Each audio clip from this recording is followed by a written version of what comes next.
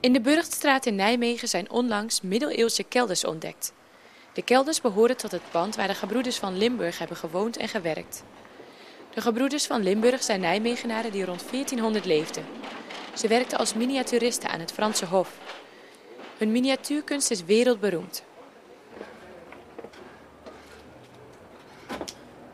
Onder een 19e eeuws winkelpand waar nu een croissanterie in zit met uh, een bevoorradingskelder bevindt zich ook een uh, 14e eeuwse kelder naar blijkt.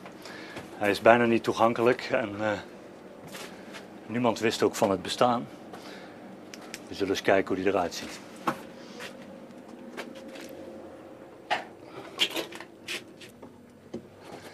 En wat schetst de verbazing?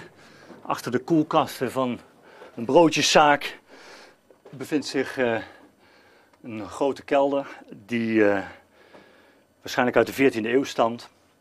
En de basis heeft gevormd van uh, het atelier en het woonhuis van de gebroeders van Limburg. Hij is niet in zo'n beste staat.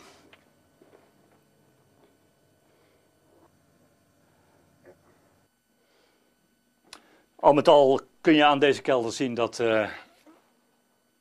wat voor een type pand er waarschijnlijk bovenop heeft gestaan.